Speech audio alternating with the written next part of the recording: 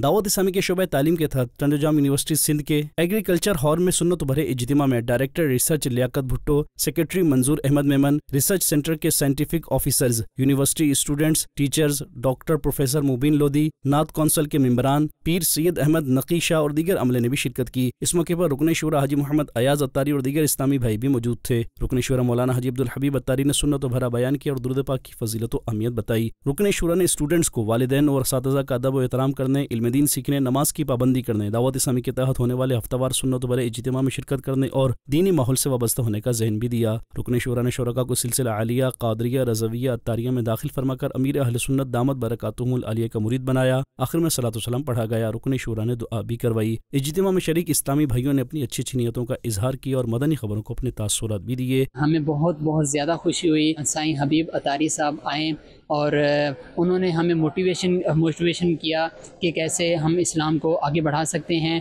और उन्होंने बहुत ही अच्छी अच्छी बातें हमें बताई। हमने बहुत कुछ दिन की बातें सीखी और इन पे अमल करेंगे। हमारे प्यारे नबी सल्लल्लाहु अलैहि वसल्लम की सीरत हमें सुनाई और उनका जो तरीका ज़िंदगी था वो भी हमें बताया। आज हमें बहुत कुछ सीखने को मिला। दूसरी जानब रुकन शुरा ने यूनिवर्सिटी के इस्लामी भाइयों की हमरा शजरकारी मुहिम के तहत यूनिवर्सिटी के अहाते में पौधा लगाया और दुआ भी करवाई।